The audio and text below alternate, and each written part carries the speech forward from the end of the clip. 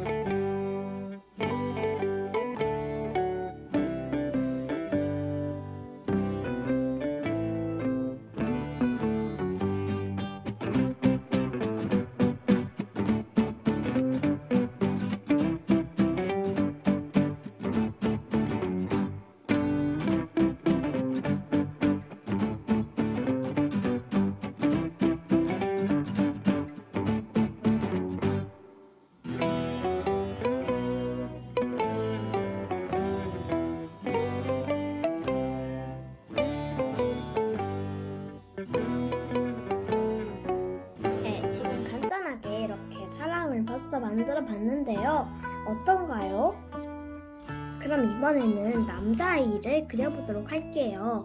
남자아이는 어, 제가 또 예쁘게, 아니 예쁘진 않지만 멋지게 그려보도록 하겠습니다. 색연필은 옆으로 치워주고, 아이! 그럼 그려볼게요.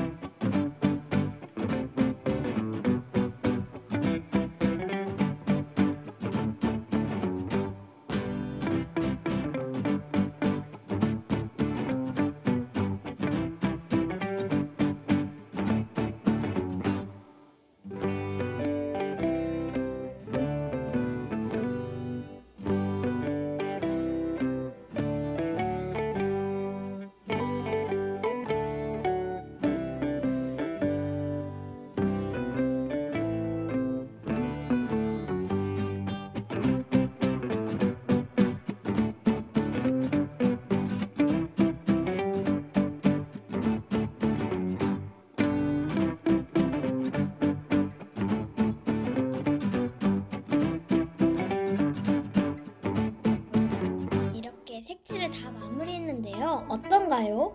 귀엽지 않나요? 귀엽다면 구독과 좋아요 눌러주시면 좋겠습니다. 그리고 여자애랑 인사도 하시죠. 음, 귀여워, 귀여워. 그럼 여기 땅도 좀 해볼까요? 얘가 있을 땅이 없잖아요. 그럼 땅을 그려보도록 할게요. 밑에 이렇게만 하면은 되겠죠? 여기도 여기는 풀로 풀로에 맞아 풀 짠.